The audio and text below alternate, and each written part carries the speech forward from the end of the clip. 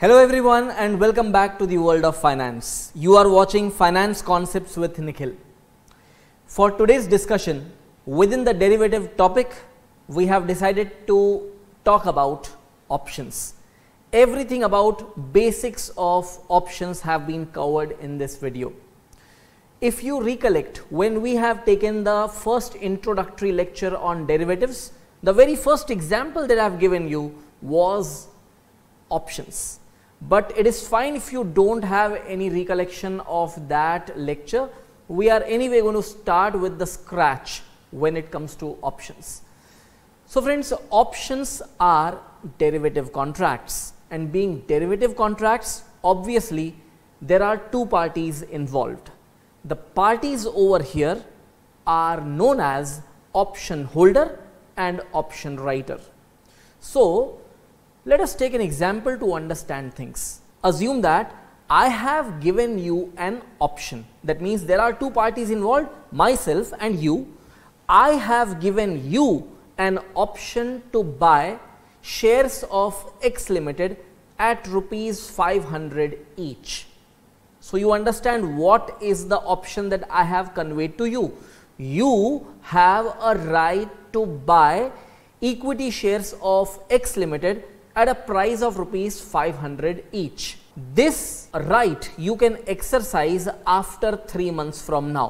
That means the maturity period or waiting period for you to exercise this right what I have given to you is 3 months. So, you will hold this right and wait for a period of 3 months. On maturity after 3 months, just imagine what would happen if the price of share of X limited in the open market goes to 542. Wonderful thing, right? You have a right to buy that share at 500 from me. I have given you that right. In the open market, the secondary market, the spot market, prevailing price is 542. Exercising your option and buying it from me will give you an advantage. You will be eligible to buy at 500 whereas prevailing market price is 542.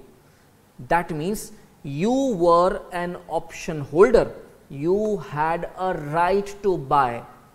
If you were not willing to buy the share, there was no obligation upon you, right? Just imagine the other way. That is, what would have happened if the share price would have dropped? Say the share price is just 482.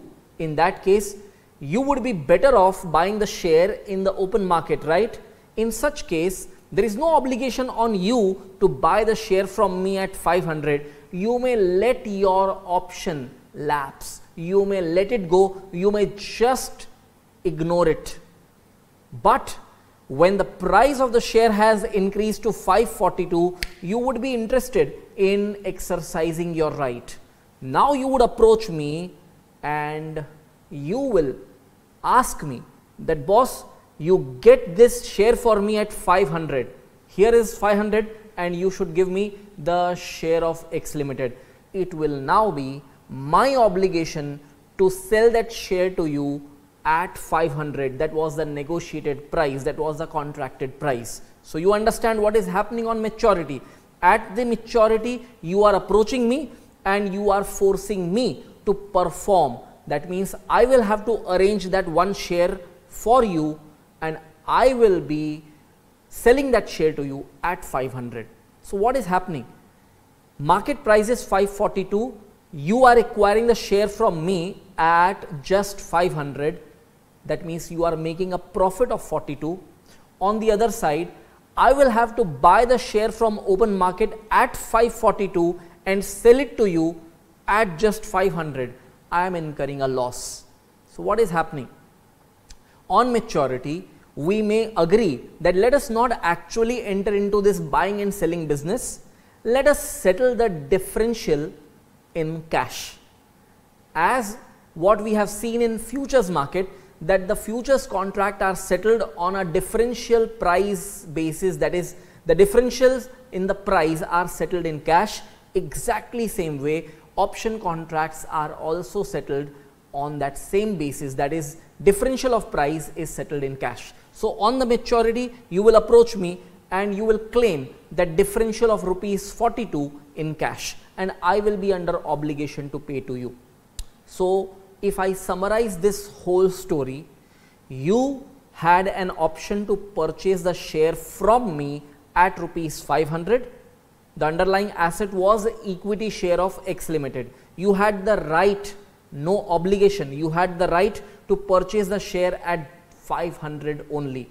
Prevailing market price on the maturity date was 542.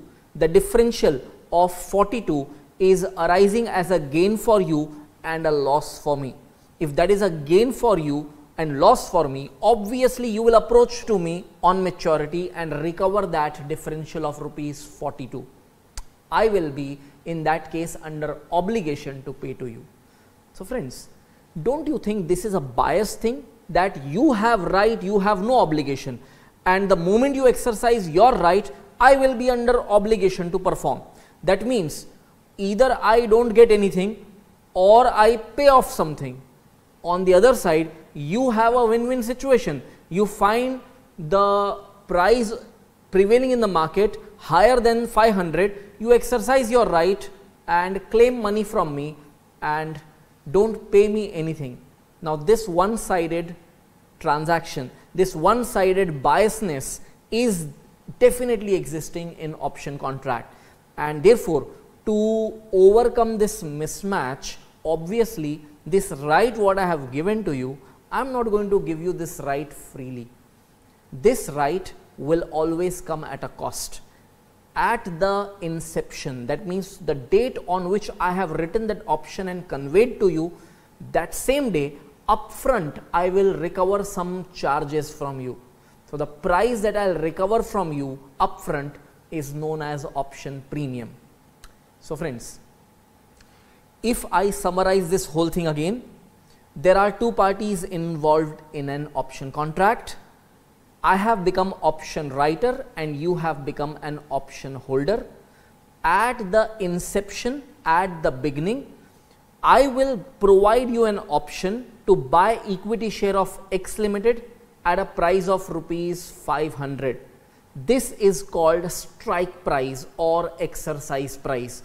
Price at which you are eligible to buy will be called strike price or exercise price. I will write this option and give it to you, hand it over to you and I will charge from you upfront the amount of premium there will be some calculation involved over there we will learn that at later stage but I will recover from you that amount of premium. Now we will wait till maturity at the maturity date it is you who will decide whether to exercise the option or let it lapse. However, if you exercise your right I will be under obligation to perform. So, on maturity when you exercise your right you will recover that differential from me and I will be under obligation to pay that differential to you. Now friends in this example I have conveyed to you a right to buy. In the terminology of options we call this as a call option. A call option is considered to convey right to buy. So inversely if I would have given you a right to sell say I would have conveyed to you a right through which you can sell a share to me at a defined price, then the right to sell a share or right to sell any other underlying would be identified as put option. So, understand very clearly call option conveys right to buy, put option conveys right to sell. But if I am option writer and you are option holder, the overall relationship still remains the same. It is you who will have to pay that option premium upfront to me. Always option holder will pay the premium to option writer upfront. That means whether the type of option is call option or put option, it is option holder who has to pay this premium to the option writer. So friends, I have introduced lots of small, small important terminologies over here. If you have been listening to this for the first time, it might be sounding little confusing for you, but do not worry. I will have lots of repetitions and gradually as in when we go ahead, you will be very very thorough with all these terms. So, let us do one thing whatever matter we have discussed I am summarizing the whole thing on screen right now. I would want you to carefully look into that. There is no need to write up that stuff because everything is given in your textbooks in detail. So, what I just want you is to note down this in your mind just understand it very well. As per your textbook, it is concept number 14 that is meaning of options. So, the two parties to an option contract are option holder and option writer. Option provides the right to the option holder to buy or sell the underlying at the contracted price. The option holder is under no obligation to settle the option contract. The action to be taken in this regard is solely at the discretion of the option holder. So, going ahead we will also define who are these parties option holder the one who has the right to buy or sell and option writer is the one who provides or sells such rights. Option contract provides right to the option holder to buy or sell something in future at a price agreed today. Such agreed price is known as exercise price or strike price. So, friends you should understand one thing very well that what we are trying to mention agreed price the contracted price we are calling as exercise price or strike price. On the other side as we have discussed premium is the price of the option. So, the price of the option at which the option can be bought or sold is known as premium, whereas strike price or exercise price is the price at which the right is conveyed that is right to buy or sell is conveyed. So, moving ahead what are call options? Call options conveys the right to buy and put options are options that conveys the right to sell. Moving ahead, the option holder will exercise such right only when it is beneficial for the holder. If option holder exercises the right, then the option writer is under obligation to perform. You should understand this point also very well. The obligation in the hands of option writer will arise only in this condition that is if the option holder exercises the right. So, if the option holder is not exercising the right there will be no obligation on the option writer to perform. So, we have discussed one more thing that for buying the option the holder has to pay its price to the writer such price is known as premium. At this stage an important point to be clarified. Friends, I have already mentioned earlier, again I am telling you, when we talk about the price of an option, the price at which an option can be bought or sold is necessarily its premium. On the other side, sometime back we have seen strike price or exercise price. This is not the price of the option this is the price at which the share can be bought or sold. Now, the price at which the share can be bought or sold is known as strike price or exercise price. Okay? Now, when this right is conveyed by the option writer to the option holder and the price that is charged for selling this right that is the price of the option. So, be very clear with these terms, do not get confused. One more point of discussion that uh, you have seen options classified into call option and put option. There is yet another way in which you can classify an option that is European options and American options. So, how do you classify options into European options and American options? A European option is such an option which is exercisable only at its maturity date. For example, if there is a 3 month European option, it can be exercised only after 3 months, only at one day when it is matured.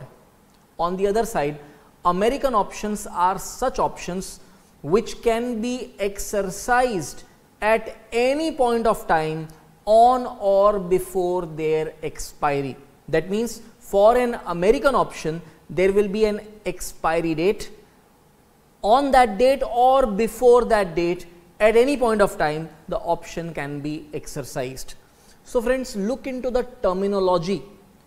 We are using maturity date for European options and we are using expiry date for American options because the moment an American option is written it is already matured it may be exercisable on the spot immediately. So, an American option can be exercised at any point of time once it comes into existence up to its expiry that is on or before its expiry date any time. On the other side European options can be exercised only at its specified maturity date. So, as we have discussed European options are options that can be exercised only at a specified date in future and American options are options that can be exercised at any point on or before a specified future date known as expiry date. Let us move ahead and talk something about option premium in details. Concept number 17 option premium. This is an upfront price payable by option holder to option writer at the time of entering into the contract. By paying option premium, the option holder buys the option and the option writer sells such option. Option premium is payable irrespective of whether the option is exercised or not and in order to decide whether an option should be exercised or not, option premium already paid by option holder to writer is completely irrelevant. Let us discuss these last two points in little more details. So, first thing first, option premium is payable by the holder to the writer irrespective of whether the option is exercised or not. So, let us take that same example, I am option writer, you are option holder and I have conveyed to you the right to buy share of X limited at rupees 500. Okay. And now I have suppose charged a premium of rupees 20 upfront. So, you have given me rupees 20 upfront and I have sold this right to you. I have written this option for you. Now, this option will mature after 3 months. After 3 months, suppose the share price of X limited is just rupees 450. So, you have a right to buy the share at 500, but the open market price itself is 450. So, obviously, you are not going to exercise your right, your right, your option will lapse. So, in that case, do you think I am going to give you back that rupees 20? The answer is no. That is an upfront charge that I have taken from you for selling this option. Once I have sold this option, all rights, all risks and rewards attached with this option have been given to you. Whether it turns into a gain or a loss, it is your gain or your loss that rupees 20 which has gone into my pocket stays in my pocket. So, if you would want to get back that money from me, you should just expect that the market price goes so high that you can get that differential that means you can get that money not just that much even more than that but by way of price differentials but that premium is never going to go back to you. Secondly, while you decide whether to exercise the option or not, the premium that you have already paid, that rupees 20 what you have already paid should never be considered. If you consider that, you will be committing a big mistake. Let us extend the example. So, you have paid rupees 20 to me and I have conveyed to you right to buy share of X limited from me at 500. Imagine that on maturity that is when the option becomes exercisable the share price of X is rupees 517 in the open market. Now, how do you think? Open market price is 517. If you buy from me, you will get it at 500. So, there is a benefit of rupees 17, but you have already paid a premium of rupees 20. So, your net loss is rupees 3. Because there is a net loss, let us not exercise this option. Are you going to think this way? Of course not. You will not think like this because if you do that, if you do not exercise the option, then you are not losing rupees 3, you are losing rupees 20. So, best way to deal with the situation is don't consider premium at all while you are deciding whether to exercise the option or not. That premium can be considered in your accounting records to find out the net gain or loss that you have made or if somebody is asking you to find the net payoff or net profit or loss then you may consider that premium to find your overall position. But for taking the decision you should not consider that. Friends one more thing i would tell you. If i talk from your viewpoint for you the option premium that you have paid is a cost that you have already incurred in the past correct?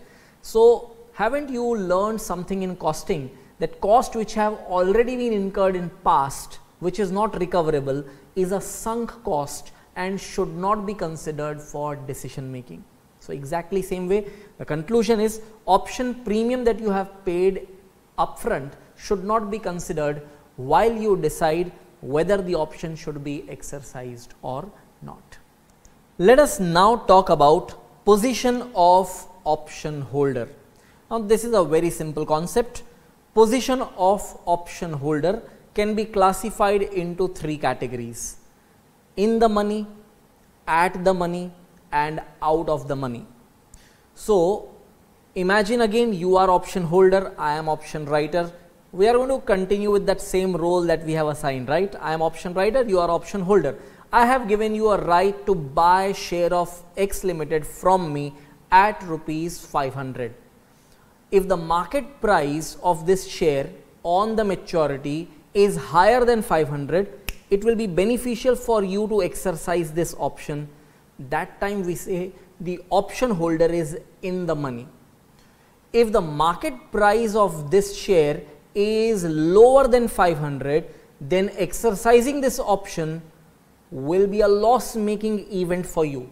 In that case we say the option holder is out of the money and when the market price on maturity is suppose same as the strike price that is exactly rupees 500 then exercising the option or not will not make any difference and that is the time when we say option holder is at the money.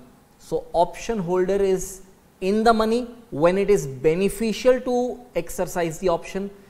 Option holder is out of the money when it is loss making to exercise the option and option holder is at the money when there is no gain or loss arising on exercising the option.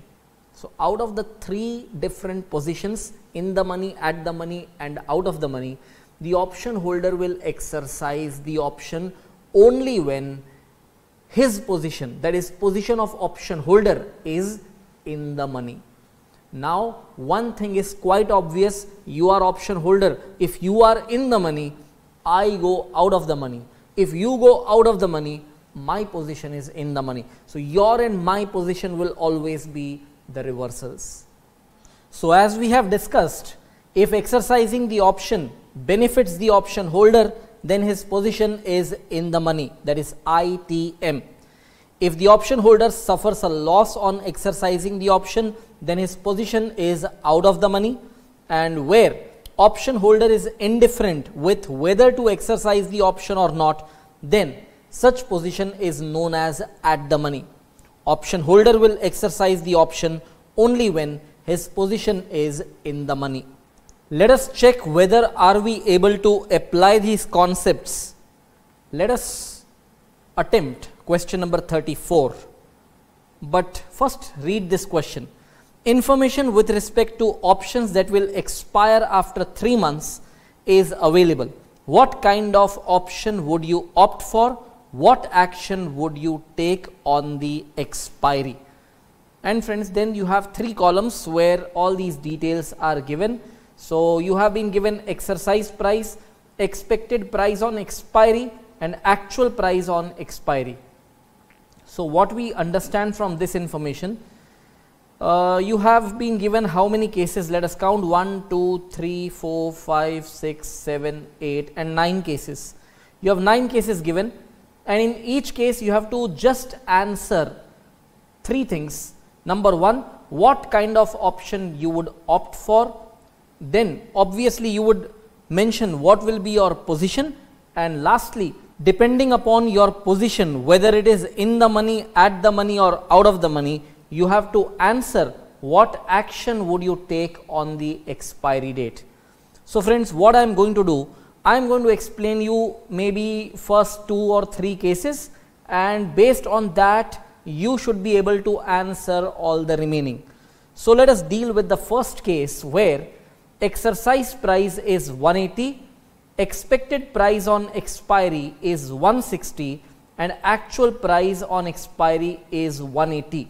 So, first thing first at the point where you are planning your option position, you will not know what is the actual price on expiry, right. This will be known only at the end that is after 3 months. So, what we have is these two information according to which the exercise price is 180. So, price at which the contract will be made is 180 and your expectation that the price that would prevail after 3 months is 160. It is your expectation. Anything may happen after 3 months, we do not know. Your expectation is that the price would be 160. That means you are expecting the price to be 160. What would you do at 180? At 180 would you buy? Answer is no. You would not buy something at 180 where your expectation about its price is 160. So, what would you do at 180? I would rather prefer selling it at 180. That means, if I want an option, I would want an option to sell it. I would hold the right, I would hold the option to sell it. So, to hold the option to sell it, you should hold a put option. So, what we are trying to tell is at the beginning, you should plan that you should become a put option holder then what will happen on expiry whether your position is in the money, at the money or out of the money, we will talk about that later. First, let us talk about the position planning and where we have decided that you should become a put option holder. So, I am showing you how to present the solution on screen, take note of that. In the solution, when you start with case 1, your choice, your position on expiry and what action you would take on expiry. Three things we have to mention. So, choice what we have already decided you should become a put option holder. Now, to find what will be your position on expiry, you should look into whether you are in the money, at the money or out of the money being a put option holder. When you are a put option holder, you have a right to sell the share at the strike price of 180 now, look into the third column, the actual price given in the question, actual price on expiry is also 180. So, your position on expiry will be at the money. Why at the money? Because strike price and prevailing market price both are same. Your position is at the money. Now, what action would you take? We have learned one thing that the action to be taken will be exercise the option only and only when the option holder is in the money. But what happens when the option holder is at the money? You will not exercise the option. So, finally, what we conclude action to be taken on expiry will be lapse. That means, we will not exercise the option, we will let the option lapse. So, let us go back to the question so that we look into what is given in the second case. So, here I have brought that question in front of you once again. So, let us deal with the second case. In the second case, exercise price is 125 and expected price on expiry is also 125. That means, you find that whatever is the strike price or exercise price that is the same price that you would expect on expiry. That means your expectation is even if you become a call option holder or put option holder either way you will be finding yourself at the money. So, why to go for such options that means we will have no choice over here and when we have made no choice over here neither a call option holder nor of a put option holder obviously we are not concerned with what happens on expiry. So, case 2 is simply nullified by mentioning that we do not want to enter into any option contract. So, let us discuss case 3. In case 3 we find exercise price is 160 and the expected price that we have on expiry is 175. That means the price what we expect is more that is 175. So, at 160 obviously we should attempt buying the share at this price of 160 where the expected price is going to be 175. To buy the share at this price of 160 to have this right we should obviously become a call option holder. So, call option holder will be your choice and we will see what will happen on expiry where on expiry the prevailing market price is 155 we will look into what can be done with this. So, let us put up the solution ahead. So, going ahead with case 2, what we have already seen, there is no choice that we have to make. We are not entering into any kind of option contract with respect to case 2. So, just leave it. For case 3, the choice that we have made, we have already talked about it and other two things we will see depending upon the price prevailing on expiry. Choice is very clear, we have already talked about it in case 3, you should become a call option holder. Now, your position on expiry depends upon the price that will prevail on expiry.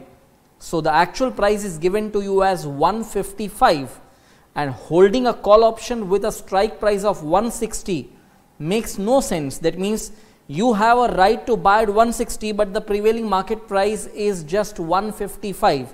So, obviously, your position is out of the money and action that you take will be obviously lapse. Please take note of this much and then we move ahead and if you do not want to present the solution this way alternatively you can present this in a tabulated format. So, in a table format you can present the whole solution, but anyway whichever way you would want to write first write down this much.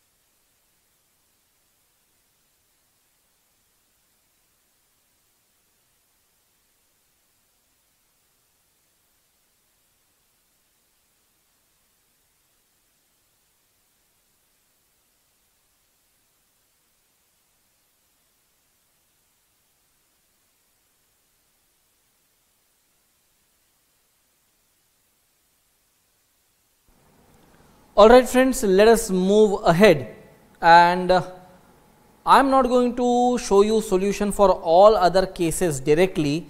Let us do one thing, let us put you into practice right now. So, what you should do is look at this format.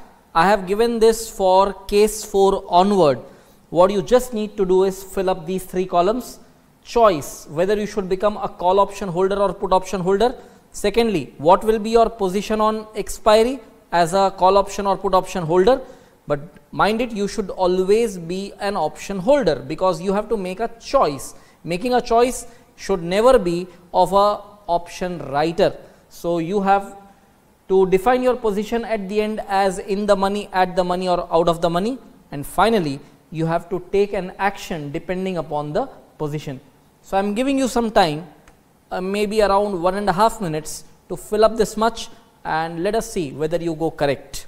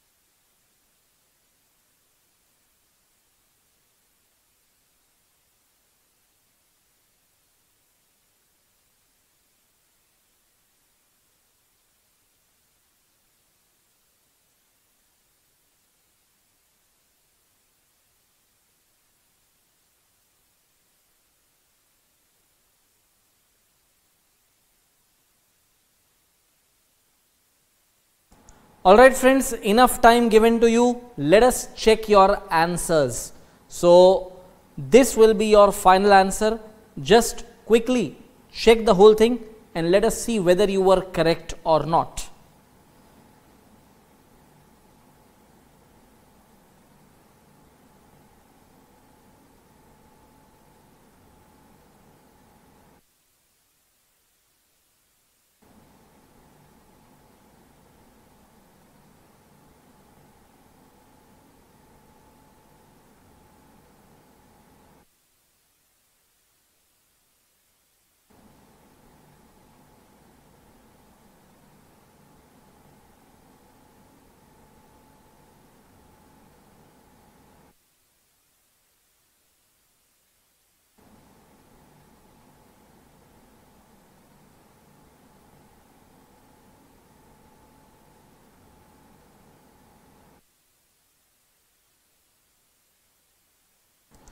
Alright friends, you would have taken the final verification of whether you were correct or not.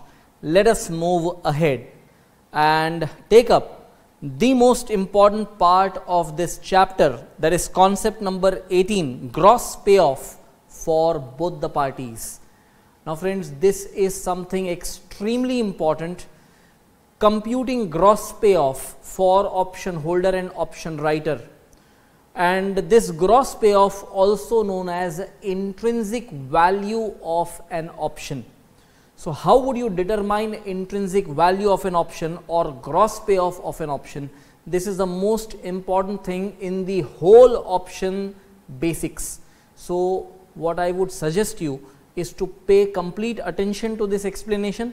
It is simple, but you should not commit mistakes by trying to answer quickly you should go slow initially, think a lot and once you have practiced that line of thinking automatically then your pace of approaching ahead will be super.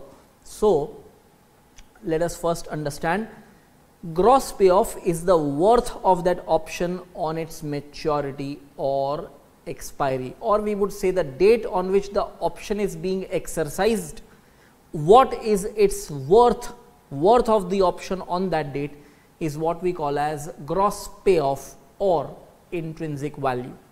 Let me explain you this through an example. And we will first take case of call option and then take the case of put option. So, case of call option first. Same thing, you become a call option holder and the exercise price of the share for which I have written an option is rupees 500 and the prevailing market price on expiry of the option is rupees 542. So, strike price is 500, prevailing market price is 542 by exercising this option you as an option holder will be benefited by rupees 42. So, first thing first you should definitely exercise this option that means your option is in the money for you, your position is in the money and secondly you should exercise this option and the worth of that option that you will encash is rupees 42. So, what do we conclude from this? Strike price was 500 and market price was higher, it was 542. So, a call option holder should exercise a call option only and only when the market price on the maturity or expiry date is higher than, is greater than the strike price. That means only when the market price is greater than exercise price, a call option should be exercised. Let us take a case of put option.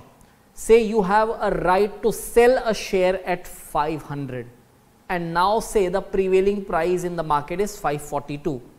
Are you going to exercise your option to sell the share at 500 where the prevailing market price is 542? Obviously not because that will put you out of the money and when you are out of the money you are not going to exercise your option. That means a put option is exercised only and only when the market price is less than the strike price. So, friends never to forget this a call option is exercised only when the market price is greater than exercise price a put option is exercised only when the market price is less than exercise price. Now, what we further conclude is the differential between market price and exercise price when the option is in the money will be called as intrinsic value of the option or gross payoff of the option. So, such gross payoff or intrinsic value is an important calculation in the field of this option basics because gradually I will take you to questions where you will have to prepare an option payoff table and option payoff graph. For attempting questions like that, what I have just discussed will be a very, very fundamental but very important ground. So, let us do one thing, what we have concluded, what we have just discussed, let us find the same thing concluded on screen in a more elaborate manner, in a chart kind of manner, so that your understanding becomes much enhanced. So, please pay attention on the screen. So, following the same lines as we have discussed, a call option is exercised by the holder. A call option is exercised by the holder. What is the condition? Only when the prevailing market price is higher than the strike price, that is MP should be greater than EP. A put option is exercised by the holder only when the prevailing market price is lower than the strike price, that is MP less than EP. And gross payoff for the option indicates its value on the date it is exercisable. It is also known as intrinsic value of the option. So, friends, I have given you all these points in your textbook. This part you need not write, but the follow up chart what I am showing you that is something that you will have to write. So, this is just the summary of what we have discussed a few minutes back. Let us move ahead and take up first the case of call options. So, let us classify the scenario into two categories, two possibilities. One where market price is greater than exercise price and in the other case market price is less than or equal to the exercise price. So, we are dealing with call option. Let us recollect the condition of call option. Call option is exercised only when this condition prevails that is MP market price is greater than exercise price. When this conditions prevail then the call option is exercisable. That means in this scenario when market price is less than or equal to exercise price call option is not exercised. So, what we do is here we write the fact that call option will be exercised and here we write the fact the call option will not be exercised.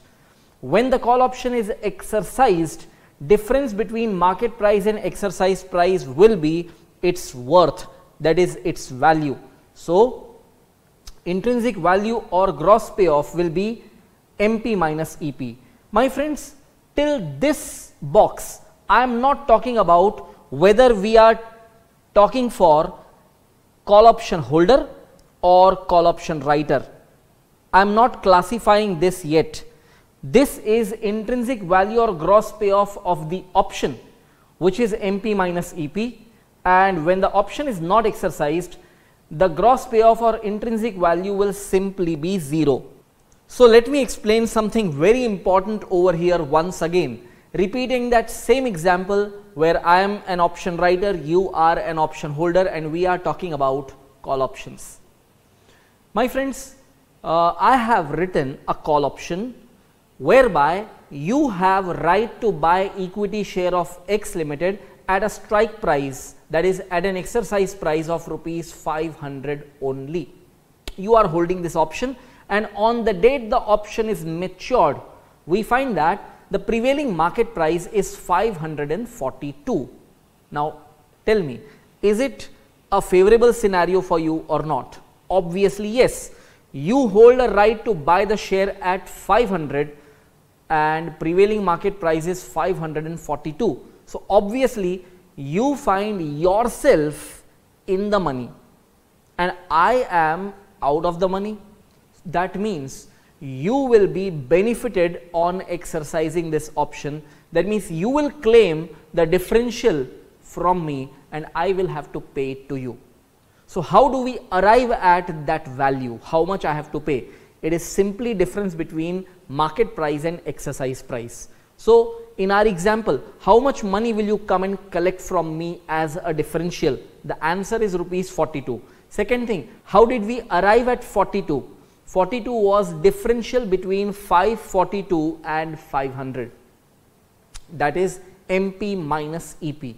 If it was MP minus EP, we have first determined the value of the option itself. That means the worth of the option was rupees 42. Now, if you take my viewpoint, I am option writer, I have to pay that money from my pocket. For me, for me specifically, the gross payoff will be the intrinsic value of that option is 42 but for me the gross payoff will be minus 42 because this indicates a cash outflow from my pocket and for you the gross payoff will be plus 42 because this is a cash inflow coming into your pocket. So, friends what we should always do is value of call option when exercised is always going to be MP minus EP. First you determine the value of the option now you look into who is holder and who is writer. You are holder. So for you this value will come into your pocket. Just put a plus sign along with that calculation of MP minus EP. So MP minus EP gave you 42, put a plus sign which indicates a cash inflow for you. For me, MP minus EP is 42. I cannot put a plus sign, I will have to put a minus sign because for me it indicates an outflow. So friends, in a nutshell what I am trying to tell you is First always find the worth of the option. If you are holder, you will receive this worth. If you are a writer, you will have to pay off that worth. That means in this example, you will first determine the value of that option on maturity that is rupees 42 because you are holder you will receive 42 because I am writer I will have to pay that rupees 42. So, let us note down even that and then we apply similar kind of flowchart presentation even for put options. So, once you have determined the intrinsic value or gross payoff for the option as MP minus EP, next thing what you do is look into who is holder and who is writer. So, for the holder gross payoff it remains MP minus EP placed within brackets and outside the bracket do you see there is a plus sign. So, when you open the bracket it remains MP minus EP. So, MP minus EP for the holder remains MP minus EP because it is coming in the pockets of the holder. However, what happens in case of a writer? For the writer of the option gross payoff will be same thing MP minus EP but negative sign placed outside the bracket it will become minus of MP minus EP and when you open the bracket it will become EP minus MP. So, finally, MP minus EP is the gross payoff for the option holder and EP minus MP is the gross payoff for the option writer.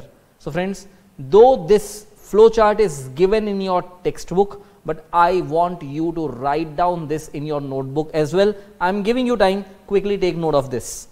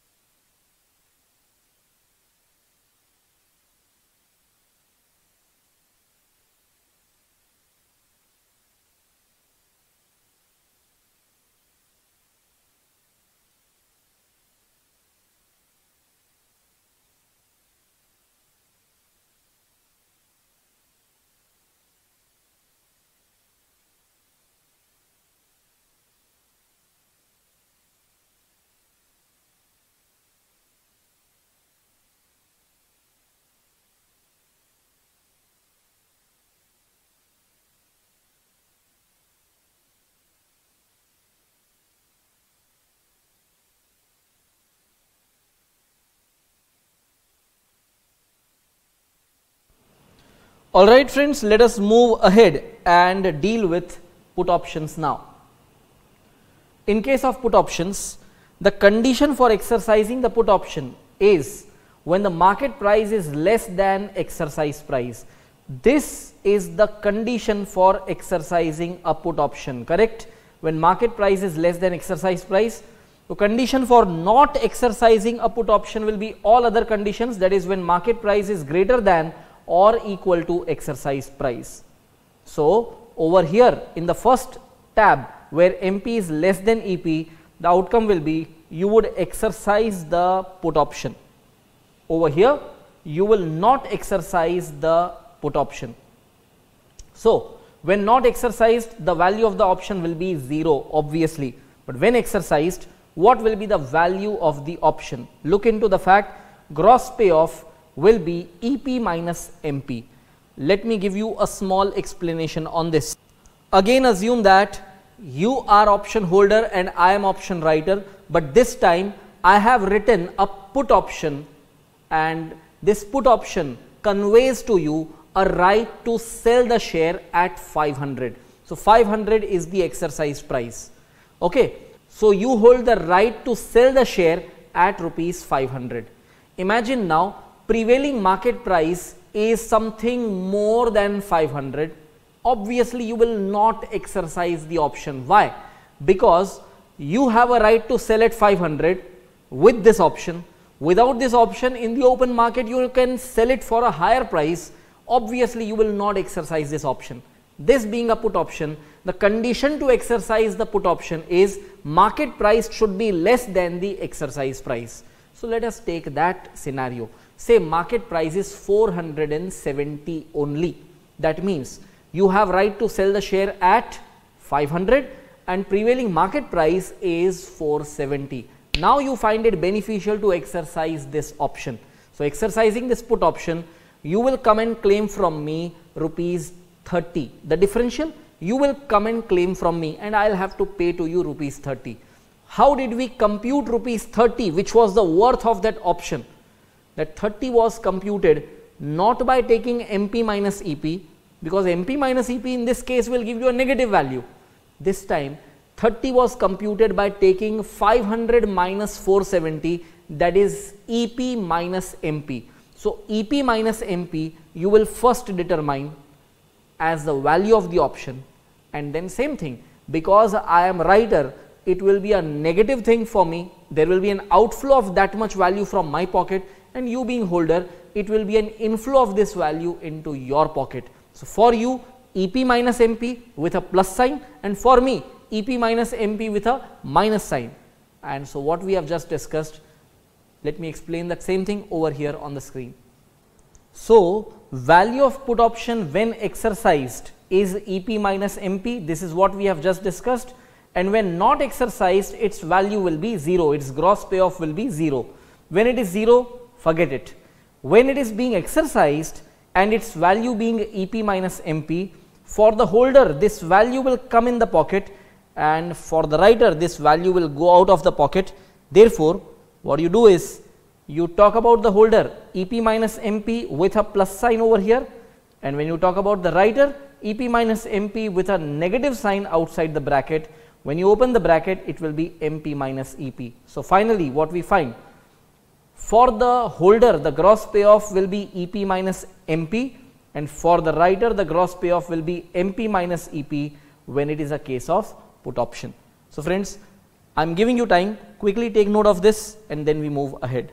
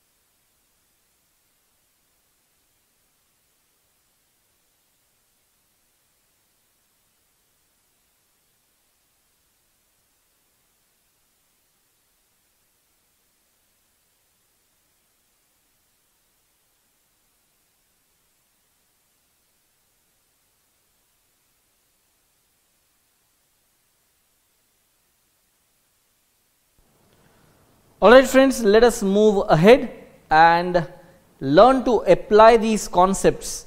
Take up question number 37.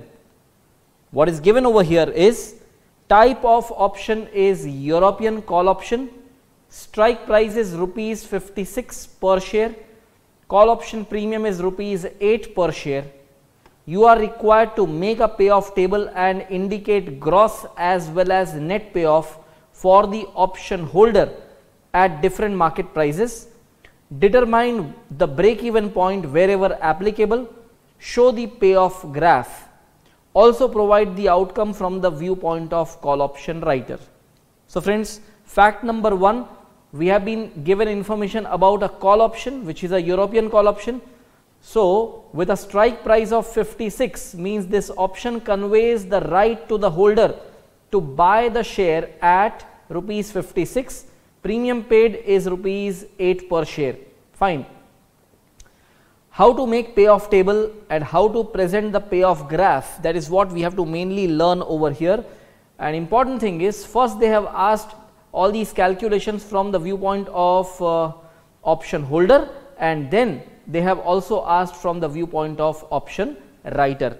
So, we will first take the viewpoint of option holder and then we shall consider the viewpoint of option writer. So, the solution begins from the viewpoint of uh, option holder. Let me explain you how would you present the solution.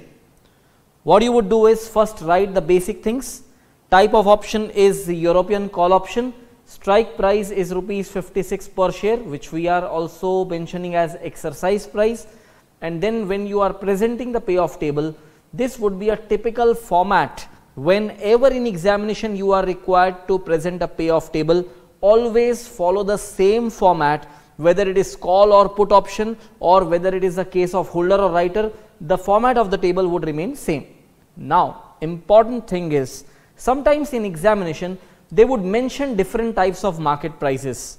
Here they have not given any indication. So, what we will do is we will just draw three lines.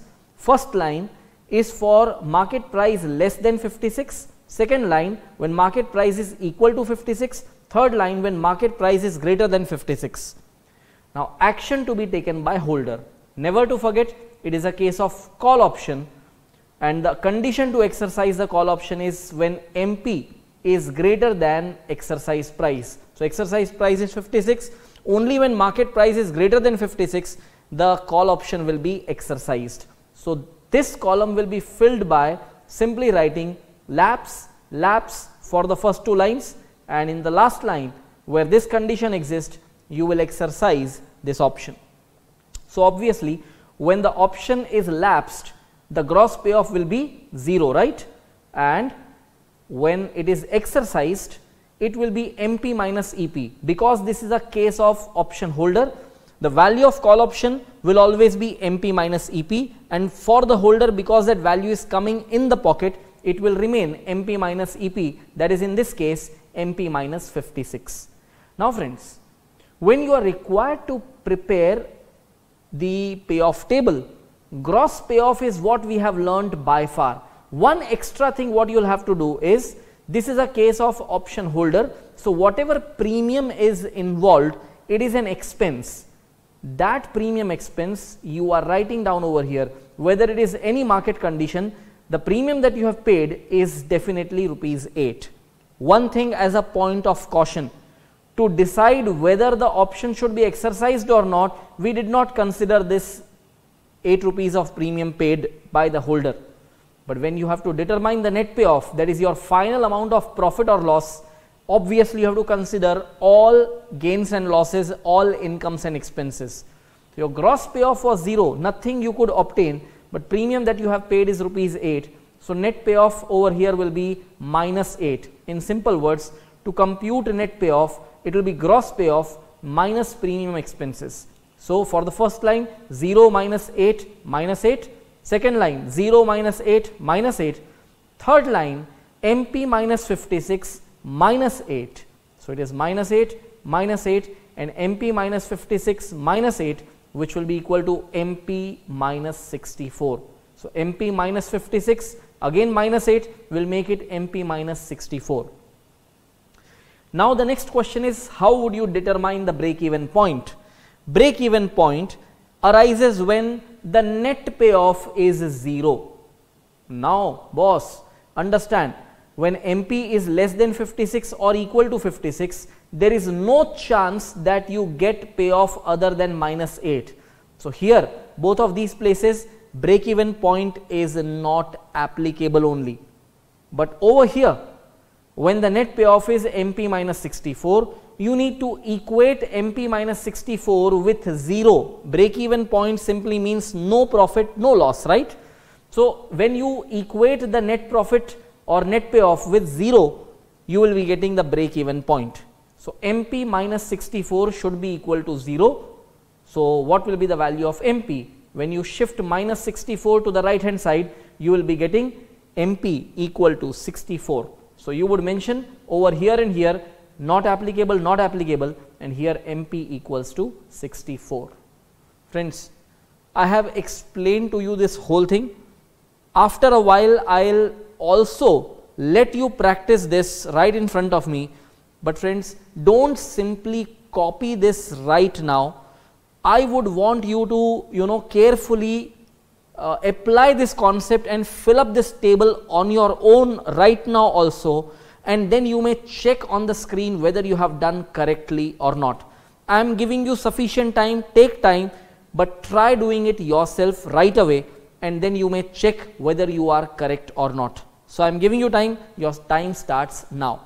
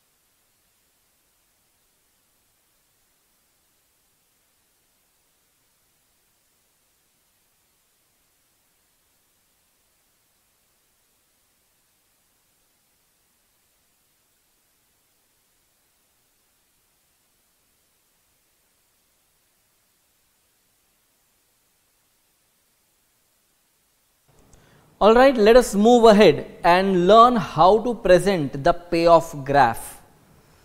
When you have to present a payoff graph, draw the two axes where x axis will indicate the market price and y axis will indicate the net payoff. What you should do on x axis plot two prices, one is 56 and another is 64 so, this is basically the strike price that is plotted on x axis and another is the break even point. On the y axis you should plot the outcome in terms of net payoff what we have seen for the first two lines that was minus 8. So, minus 8 is the net payoff when the market price is less than or equal to 56. So, friends what will happen?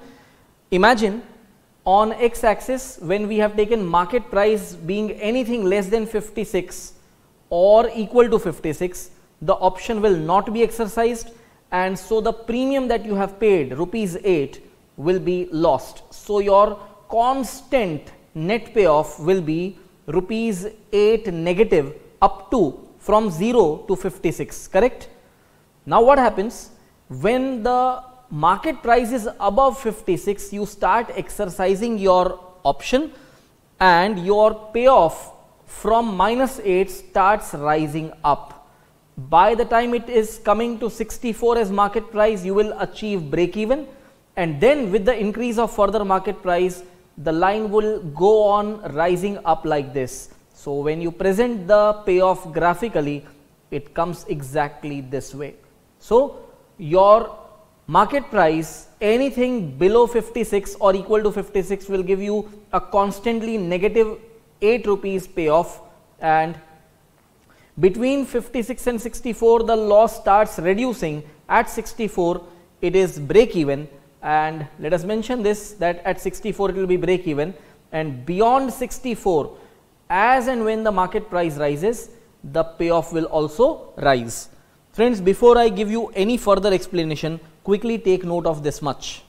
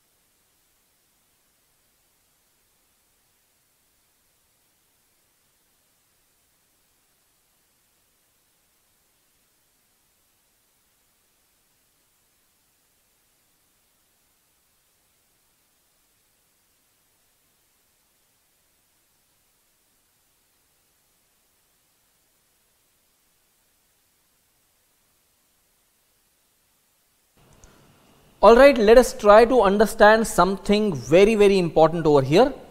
So, you are finding this payoff graph typically for a call option holder.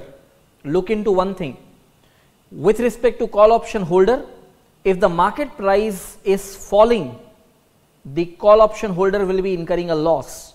When the market price is rising, call option holder will be making profit. That means Point number 1 call option holder will be making profit when the market is rising that means when the market is bullish the call option holder will make profit. That means why someone would have taken a call option why someone would have you know become holder of a call option the answer is very simple that party the call option holder must have bullish sentiments. Second thing you see you have a limited loss right? Your loss will not exceed beyond 8 rupees. This is limited loss for you. And look into the profit potential. You have unlimited profit right? When you cross this break even with more and more market price rising up the payoff will go on rising without any limits. So, there is no limit to the profit that you can make, but there is definitely a limit to the loss. The loss is restricted to the amount of premium paid. Third and the last thing, the break even point for the call option holder 64, you may directly compute this as 56 that was a strike price to that you add premium. So, 56 plus 8 will give you directly 64. In simple words, break even point for the call option holder is always strike price plus premium. So friends, these three important points I am showing on screen, please note down.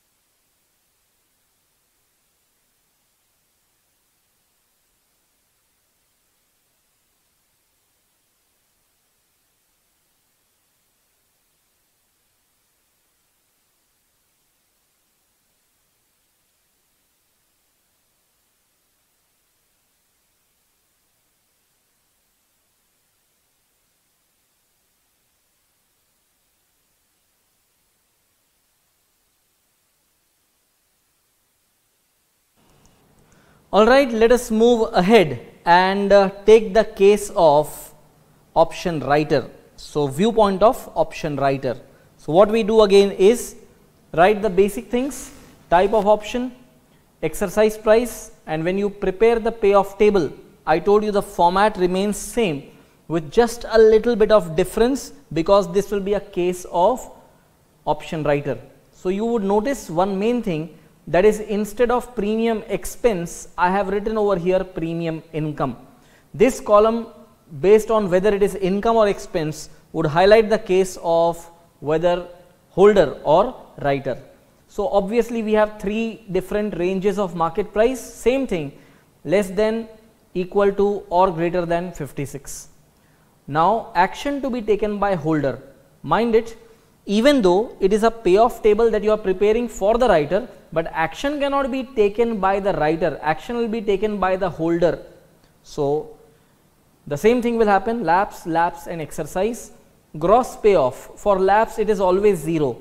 When it is being exercised for the holder it was MP minus 56 as gross payoff. For the writer it will be 56 minus MP why it is like that? I have explained you already. So, it was basically MP minus 56 as the value of the option and for the writer the value will go out of his pocket and therefore, it will be negative of MP minus 56. Eventually, it will become 56 minus MP. So, 0, 0 and 56 minus MP. Next thing premium income will be rupees 8 for all cases. So, for option writer you would see that gross payoff plus premium income will give you the net payoff. So, it is 0 plus 8 as 8, 0 plus 8 as 8 and 56 minus MP plus 8 will give you 64 minus MP. Coming to break even point at these two lines the net payoff is always going to be positive 8 rupees. So, this place the break even is not applicable at all. Break even will apply only in this case when MP is greater than 56 break even means the net payoff should be 0 that means 64 minus MP will be equated to 0 again when you solve that equation that is 64 minus MP equal to 0 you will eventually get MP equal to 64. So, what we do over here I told you not applicable not applicable and MP equal to 64 in the last line. So, friends quickly take note of this and then I take you ahead.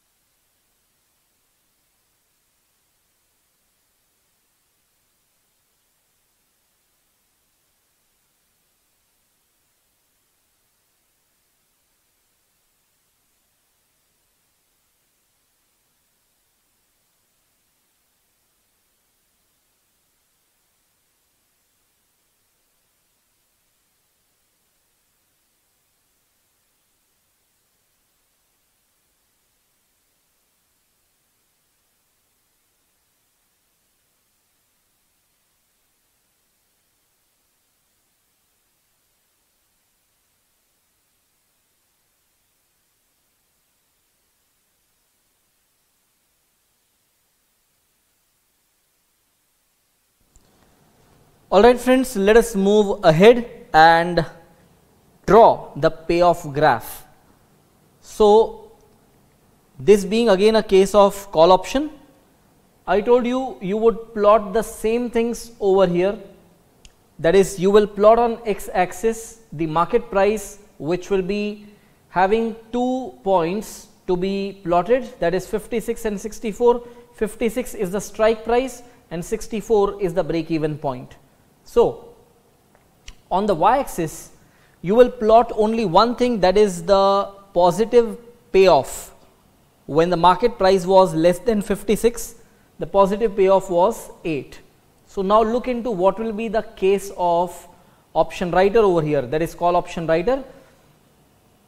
Any market price which is less than or equal to 56 the option is going to lapse and whatever premium income has been received by or earned by the option writer will become the net payoff because the gross payoff will be 0 and premium income will be 8. So, constantly there will be 8 rupees of payoff for any market price being less than or equal to 56.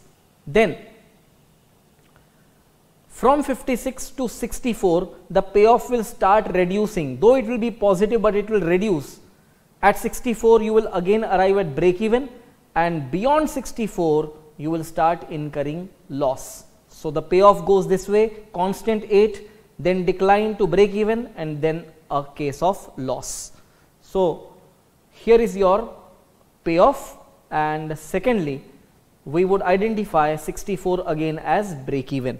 So, friends take note of this also and then I give you some important points to write down.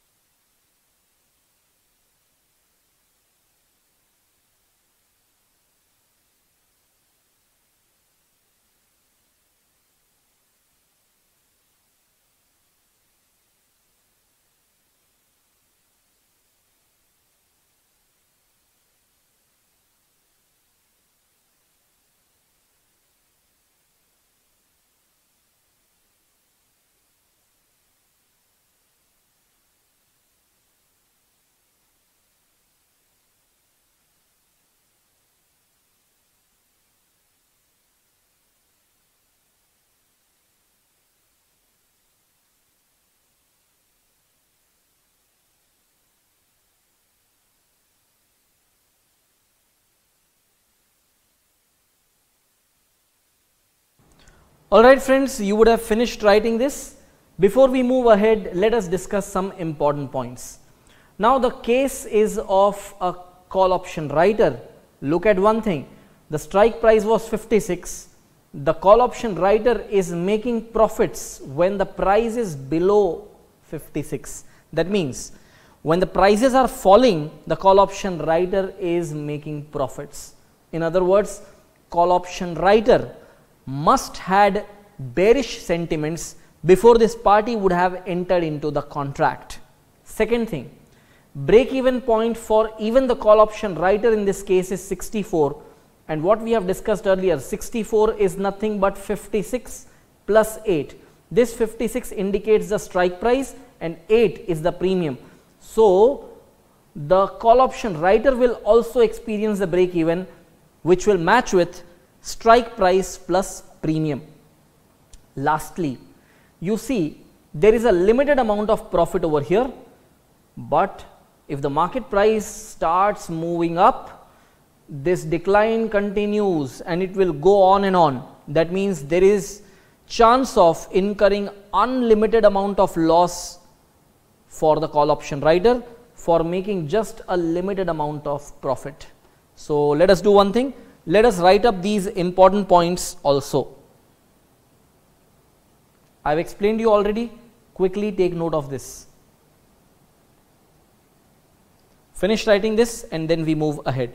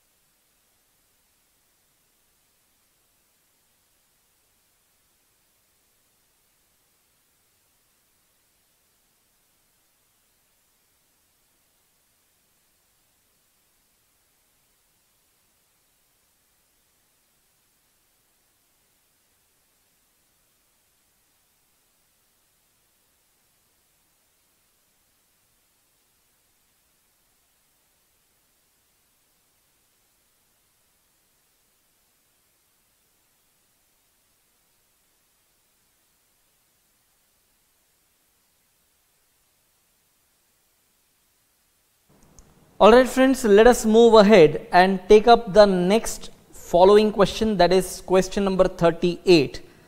Similar type of question but now we find that this is a case of put option. So what is the information type of option is European put option strike price 56 put option premium is rupees 8 and same types of requirements for option holder as well as they have demanded the viewpoint of option writer. So more or less same thing, we find one thing that this is not call option but a put option. So, let us see how to solve this question. We first take the viewpoint of option holder. So, it is a case of put option holder. So, first we would mention that the strike price is 56 per share and then we make a payoff table. Payoff table format would still remain the same and this being a case of option holder in premium column we have written very clearly it is a premium expense. Same three things, three types of price ranges, market price less than 56, equal to 56 and greater than 56. My friends, now I am willing that you should fill up this whole table from your side before I show you the solution. I am going to give you exactly 90 seconds and you should be done with your table fill up. Your time starts now.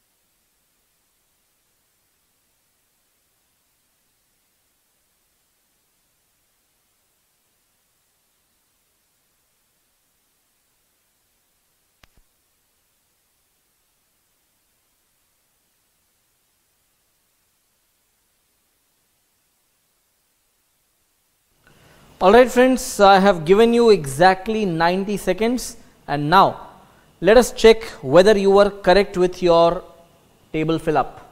So first thing first, put option, correct? This is a case of put option and put option will be exercised only when market price is less than strike price. That is when market price is less than 56 in this case. So here it will be exercise and then in the other two lines lapse and lapse. When put option is exercised, the gross payoff for the holder will always be EP minus MP that is strike price minus market price or exercise price minus market price. In this case, it will be 56 minus MP and when it is not exercised and lapsed, it will be 0 and 0. Premium expenses rupees 8 in all cases. Net payoff will be gross payoff minus premium expenses so, in the first line it will be 56 minus MP minus 8 that gives you 48 minus MP and here it will be 0 minus 8 and 0 minus 8 which will be remaining as minus 8. Obviously, when you come to break even column over here in the last two lines the break even is not applicable. Over here to arrive at break even you have to equate the net payoff to 0 that means 48 minus MP should be equal to 0 when you solve that equation 48 minus MP equal to 0, MP will be 48. So, MP equals to 48 will be the break even in the first line. In other two lines the break even is not applicable. So, along with this explanation I am sure you would have understood the whole thing and I am also sure that before I have started this part you would have done this whole thing correctly on your own. So, let us move ahead and make the payoff graph.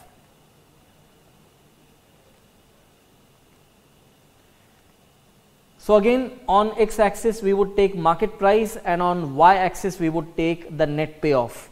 We will again plot two things on x axis that is the strike price 56 and the break even point that is 48. Now friends you would have noticed one thing this is a case of put option holder. Put option holder is going to make money when the prices are falling right when the market price is less than or equal to 56 then the put option holder is going to make money. What happens when the price goes beyond 56 the option will be lapsed and the payoff will be simply minus 8 that is what we have identified right. So, this minus 8 of payoff will not start this time at early stage, but this minus 8 payoff will start after the price is 56 when the price is less than 56 that is less than the strike price the payoff will be positive over here and when the price is 0 if you may substitute the market price to 0 the net payoff will be matching with break even point that is 48. Friends you might be wondering what are these lines right. Now let me explain one thing these are called breakers if you see on scaling basis the distance from 0 to minus 8 and here this short distance we are considering as 0 to 48 and 0 to 48. So, basically in the whole graph there is no parity in the scaling and to overcome that disparity of scaling we put breakers so that we are shifting our focus directly to this line that means scaling in this part is being overruled. Now, so what we do is the payoff from 56 onward will be minus 8 but before that it will be a better payoff for the option holder. At 48 there will be break even. So the payoff line would be this way as minus 8 from 56 onward. Between 48 and 56 it will be showing this trend because it has to touch to break even when the price is coming at 48 the net payoff would be 0 over here. And when further the price reduces the payoff would increase increase and increase. By the time the price comes to 0 the payoff would be exactly matching with the break even that means at 0 as market price the net payoff will be that same amount which was break even. So, the line goes this way you may please note it down and then I give you some important points.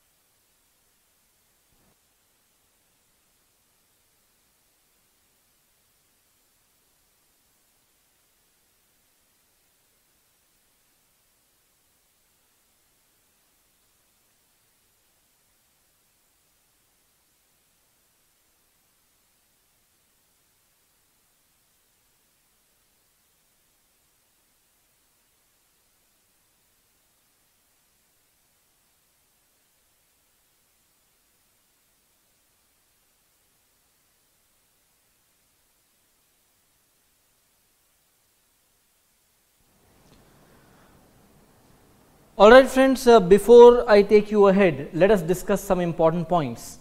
You see what is happening, put option holders case. Put option holder is making profits when the market price declines. That means put option holder must had bearish sentiments before entering into such contract. So, put option holder has bearish sentiments. That is one thing. Secondly, the break even point is 48 which was basically 56 minus 8 that means strike price minus premium will give you break even point. So, for the put option holder the break even point will always be strike price minus premium.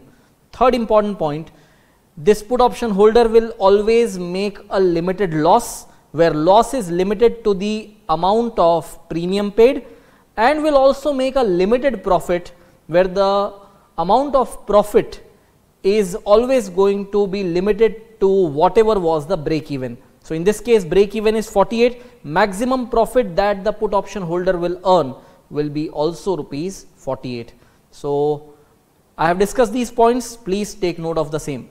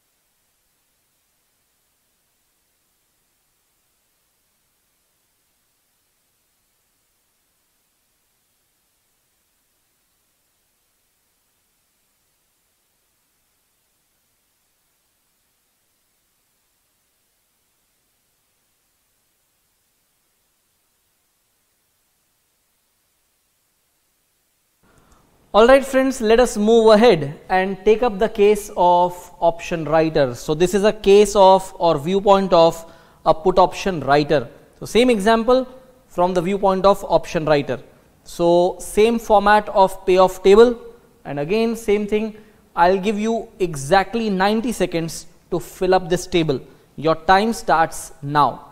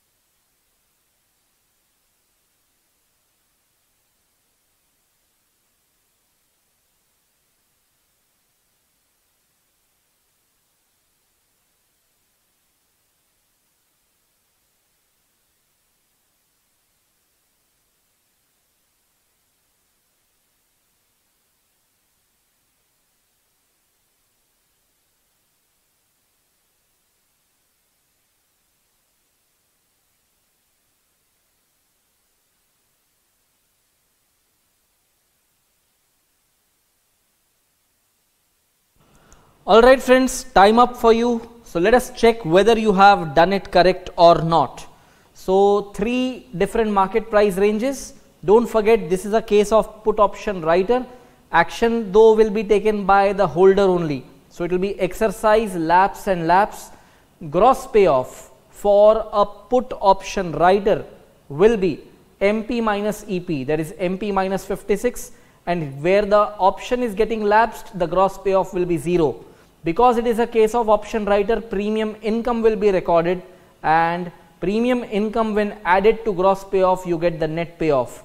Break even will again be MP equal to 48 and in other two cases it is not applicable. So, just check quickly whether you are correct with this.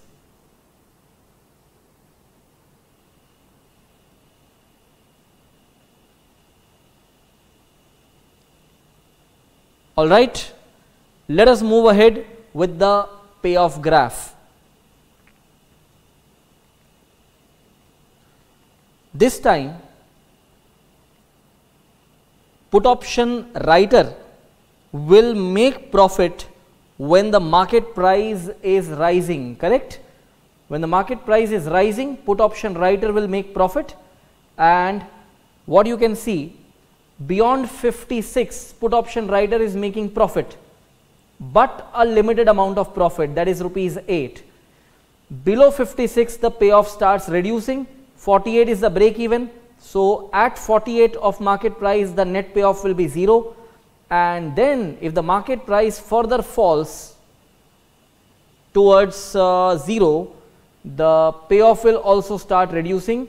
But there is a limit of this loss. The loss is limited to the exact amount of break even point so 48 is the break even point and what i want you to do is note down this quickly and then we discuss some important points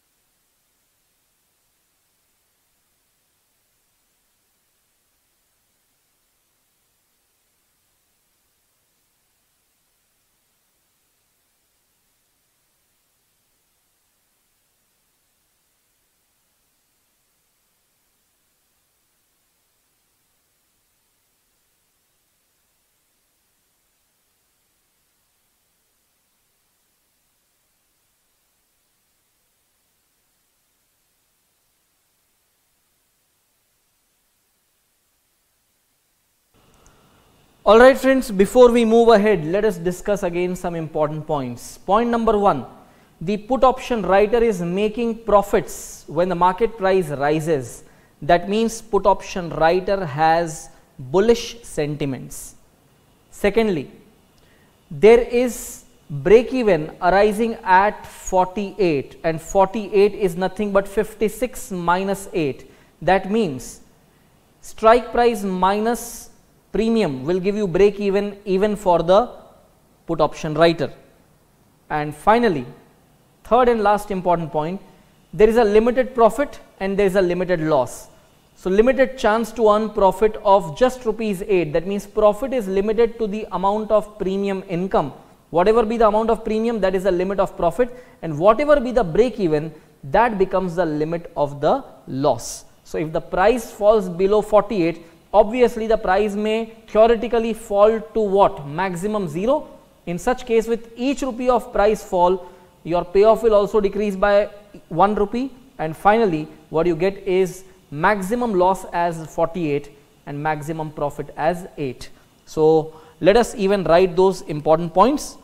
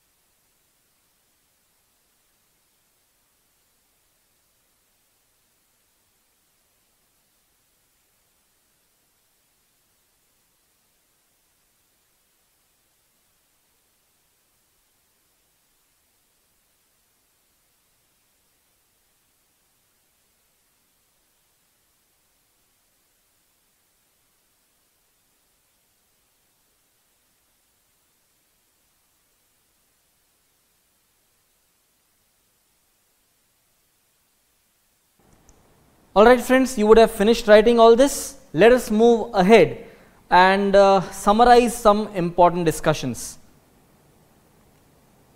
Concept number 19 net payoff and break even.